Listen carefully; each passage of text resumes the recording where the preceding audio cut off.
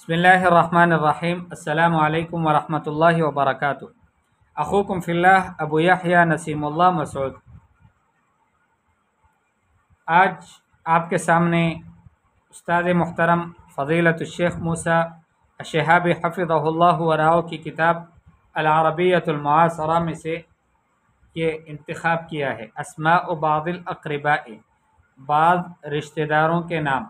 असमा नाम जमा है इसम की और बाद यानी कुछ, अलअकरबा अकरबा जमा है करीब की, करीब कहते हैं रिश्तेदार को।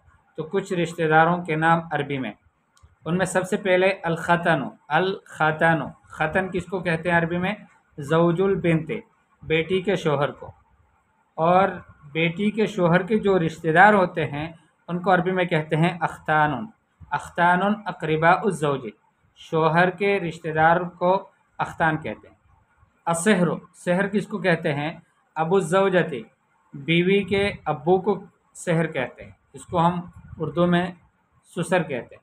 वो असहार और असहार अकरबा उज्जवजती बीवी के जो रिश्तेदार होते हैं, उनको असहार कहते हैं। अलादिल अदिल किसको कहते हैं? जवजो उख्ती जवजा बीवी के बहन के शोहर को आदिल कहते हैं। बीवी के बहन का शोहर का मतलब यानी साली का शोहर, उसको अरबी में कहते हैं अलादिल अलामत अम्मा किसको बोलते हैं? उम्मज़ौज शोहर की माँ को अम्मा कहते हैं। वकदाली का उम्मज़ौजती ऐसे ही बीवी की जो माँ होती हैं, उसको भी अम्मा कहते हैं। फ़जलन अन उख्तिल अब, यानी इजाफ़ता इलालिक अन्नहु युकाल उख्तिल अब कदालिक। बाप की जो बहन होती है, उसको फूफी बोलते हैं, उसको भी अम्मा कहते हैं। असल तो उसको कहते हैं, लेकिन उम्म जौज को भी कहा जाता है अरबी में, और उम्म जौजा को भी अम्मा कहते हैं। अलकन्ना तो कन्ना किसको बोलते हैं? जौजतुल इब्न बिन नस्बतम बेटे की बीवी माँ की नस्बत से, यानी माँ को माँ जो होती है, उसका बेटा होता है तो उस बेटी की जो बीवी होती है, जिसको हम बहू कहते हैं, उसको अरबी में कहते हैं अलकन्ना। अलकन्ना तो जौजतुल इब्ने, बेटे की बीवी बिन नस्बत माँ की नस्बत से, बाप की नस्बत से नहीं। अलहमु, हमू किसको बोलते हैं? अखुद जौजे, देवर को बोलते हैं, यानी शोहर का भाई और अकरबा उस जौजे। या फिर शोहर के जो रिश्तेदार होते हैं, उन सबको अरबी में कहते हैं अलहमु बिन नस्बत लौजा बीवी की नस्बत से। ज़ाहिर बात है कि बीवी की नस्बत से जो शोहर के जो रिश्तेदार होते हैं, उनको कहते हैं अलहमु। अलहफीद, इब्नुल इब्न, हफीद कहते हैं इब्नुल इब्न को बेटे के बेटे को, और इब्नु इब्निल इब्ने, या बेटे के बेटे को इबन कहते हैं, हफीद कहते हैं अपन इब्नो, इब्निल इब्ने, बेटे के, जो जिसको हम नवासे के बाद जो कहा जाता है कुछ। तो नवासे को भी कहते हैं हफीद और इब्नो, इब्निल इब्ने।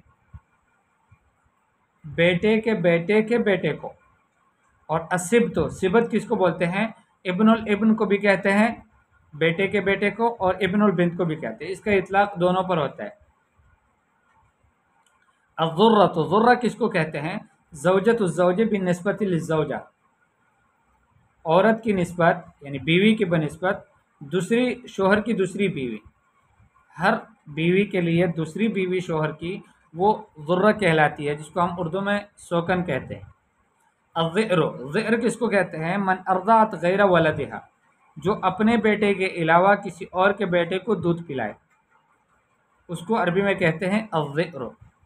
अर्राबत, राबा किसको बोलते हैं? जवजतुल अबे की बीवी, इज़ा रब्बत औलादा हो कि जब वो तरबियत करे बाप के औलाद की मिन गैरहा, उन औलाद की कि जो उस औरत से पैदा नहीं हुई, बल्कि किसी और से पैदा हुई है। यानी दूसरी शादी थी अबू की, उनसे औलाद हुई थी। और उन औलाद की तरबियत के लिए बाप ने दूसरी शादी कर ली। तो ये जो दूसरी बीवी है, इसको अरबी में कहते हैं अर्राबा, जो इन बच्चों की तरबियत करती है। लेकिन ये बच्चे इनके नहीं हैं, बल्कि दूसरी बीवी से हैं वो इनसे नहीं है। और अर्राब अर्राब किसको बोलते हैं? जौजुल उम माँ का शोहर, इज़ा रब्बा औलाद ज़ौजत ही कि जब वो अपनी बीवी की औलाद की तरबियत करे, मिन गैर ही वो औलाद की जो उससे नहीं है, यानी इससे नहीं है, बल्कि उस बीवी के पास से वो औलाद दूसरे शोहर से आई है। तो उस नए शोहर को अरबी में अर्राब कहते हैं। अशकीक, शकीक कहते हैं अलअख, अलहकीकी, मिनल उम्म वल अब। वो बाई की जो हकीकी बाई हो, माँ से भी और बाप से भी। और तो हम किसको बोलते हैं? शकीकुल मिलाद। जो मिलाद में एक साथ आया हो, वो बाई कि जिनकी पैदाइश एक साथ हुई हो तो हम उसको कहते हैं। रबीबतुन, रबीबा कहते हैं बिनतु जौजती मिन जौजिन आखरा। शोहर की बेटी दूसरे शोहर से, अफन, बीवी की बेटी दूसरे शोहर से। रबी रबीबतुन बिनतु जौजती, बीवी की बेटी मिन जौजिन आखरा दूसरे शोहर से। और रबीब इब्न जौजती, बीवी का बेटा मिनजौजन आखरा दूसरे शोहर से।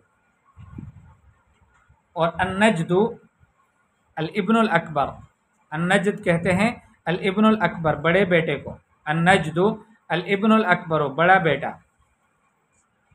उसके बाद है मुसाहरा। मुसाहरा किसको कहते हैं? कौन से रिश्ता है ये? अजवाज मिन किसी भी फैमिली से निकाह करना इसको मुसाहरत कहते हैं। युकाल साहरहम इदा तजवज मिन अरबी में कहते हैं साहरहम। इनसे दोस्ती की, दोस्ती हम बोलते हैं। इनसे शादी की।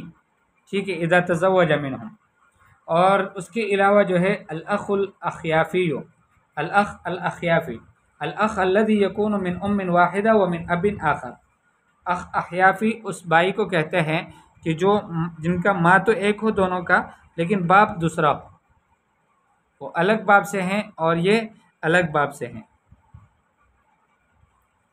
अलअख़ुल्लाती अख अल्लाती किसको कहते हैं अलअख़ुल्लदी यकून मिन अबिन वाहिदिन वमिन वमिन उमिन उखरा अख अल्लाती उसको कहते हैं उस भाई को कि जिनका दोनों का बाप तो एक हो, बाप एक ही है, उससे पैदा हुआ है, लेकिन माँ दूसरी है। इसकी माँ अलग है, उसकी माँ अलग है। तो इसको कहते हैं अलअख अल्लाती और यहाँ पर कुछ बात, सिफ़ात, कुछ बेहतरीन सिफ़ात हैं, जिनकी हमें ज़रूरत पड़ सकती हैं। इसको भी साथ में देख लें। आनिसन, आनिस किसको कहते हैं? अलमरअत इदा का बोरत औरत जब बड़ी हो जाए, वलम तजवज और वो शादी ना करे उसने शादी नहीं की है, बड़ी उम्र की हो गई है तो उसको अरबी में कहते हैं आनिस। व कदाल का रजुल ऐसे ही मर्द भी है। मर्द भी बड़ी उम्र का हो जाए, शादी नहीं की है तो उसको अरबी में कहते हैं आनिस। और इसकी जमा आती है अवानिस।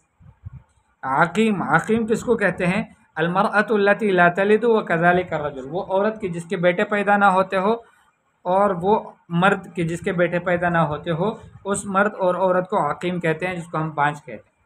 और अरमलतन अल्लती तोफ़िया जवजुहा अरमला उस औरत को कहते हैं कि जिसकी, जिसका शोहर फौत हुआ हो, जिसको हम आम तौर पर जो है बीवा कहते हैं।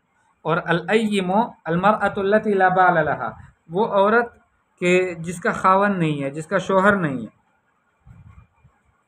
अलबिक्र अल्लती तजवज बादो। बाकिरा या बिकर उस वो लड़की को या उस औरत को कहते हैं कि जिसकी अभी शादी ना हुई हो। और अशुक्ला अल्लती मात आनहा इब्न हलवाहिद शुक्ला उस लड़की को या उस औरत को अफन, उस औरत को कहा जाता है कि जिसका अकलौता बेटा फौत हुआ हो। तो उस औरत को अरबी में कहते हैं असुकला